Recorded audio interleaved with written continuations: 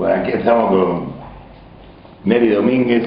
Realmente nos costó muchísimo encontrarlo. Aquí lo tenemos.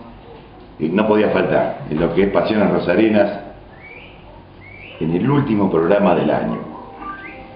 Pero yo quiero al Neri, aquel Neri que jugaba en Central con, el Negro Pastor, ¿eh? con Walter Acuña.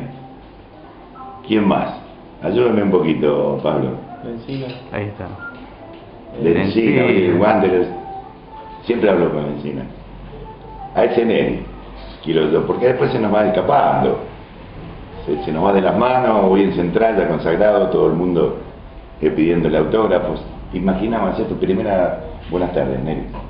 Buenas tardes. No, la verdad que, como decís vos, la primera parte del año eh, estaba en la local, ahí jugando el Molinas y de un día para el otro estoy en la pretemporada y bueno, después todo lo que pasó de mitad de año para adelante.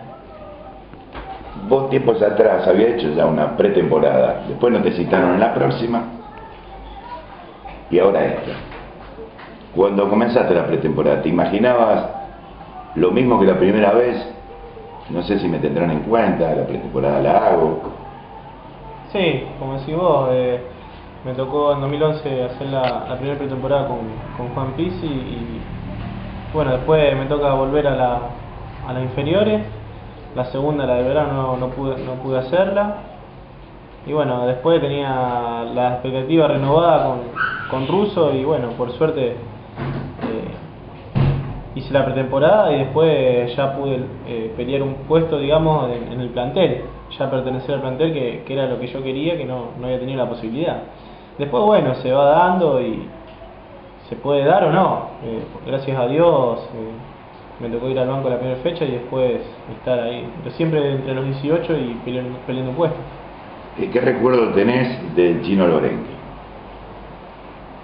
Recuerdos tengo los dos campeonatos que logramos, el día a día que, que hemos compartido en la ciudad deportiva, lo que me ha enseñado, eh, me dio el lugar para jugar en la local cuando eh, prácticamente no tenía posibilidad de, jugar y como te decía recién que no, no tenía chance de, pelear un puesto en el plantel de profesional.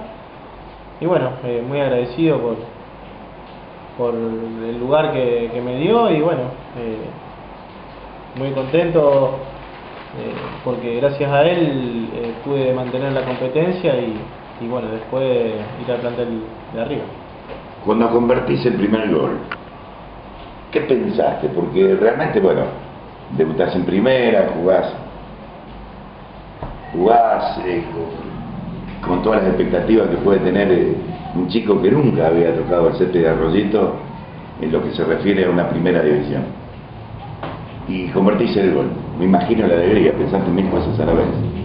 Sí, sí, la verdad que, bueno, ya en corriente me toca entrar y tan rápido hacer el gol y que sea tan importante para lograr los tres puntos, la verdad que fue, fue increíble, se me cruzaron muchísimas cosas en la cabeza, eh, momentos malos, momentos buenos, todo lo que la luché y bueno, eh, mi familia, mis amigos, la verdad que inexplicable lo que sentí en ese momento y bueno, después eh, me había pro- propuesto hacer un gol en el gigante y se me dieron las últimas dos fechas, la verdad que increíble, no, no tengo palabra para, para explicar lo que sentí en ese momento, la verdad. Bueno, eh, chateando un poquito, hablando por Facebook, yo te comentaba lo de ese partido y te decía que tenía la grabación. Me dijiste, si tenés el partido completo, mejor. Y yo te dije, pero jugaste un partidazo, Neri. Me dijiste, sí, Tony, jugó un partidazo. Pero me faltó el gol. Pero los haces ahora que es mejor, en primera. Sí, bueno, bienvenido sea. Yo no soy de hacer goles, pero eh, mientras sirva para el equipo, estaría, está, está bárbaro.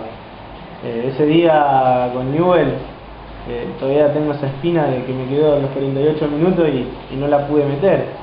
Hubiese sido muy importante ganar para nosotros y bueno, no se dio. Pero yo con, con hacer un buen partido y rendir al equipo me conformo.